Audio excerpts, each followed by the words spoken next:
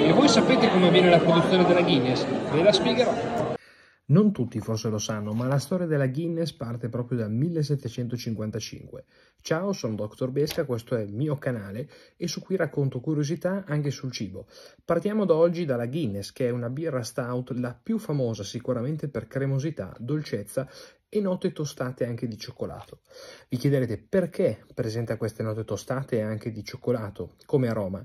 Ebbene, perché oltre agli ingredienti classici in questa birra c'è una qualità in più a livello proprio di miscelazione quando viene spinta direttamente nei collettori dei tubi per poter essere poi mandata nel serbatoio ed è semplicemente l'azoto la miscela dell'azoto, che è pari al 75% della miscela del gas che viene poi spinto, fa sì di creare quella cremosità sì in più della birra che sembra quasi di bere del cioccolato freddo, come stesso.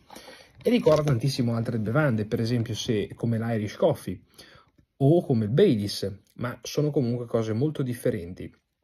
Questo perché di fatti oltre che il tatto stesso che si ha durante l'assaggio, si ha anche un sentore aromatico che nella bocca sprigiona ed è tipicamente quello della Guinness. Guinness che oltre a acqua, orzo, luppolo, malto e azoto, col suo sentore di cioccolato, dal 1755 ci fa amare sempre di più la birra stout.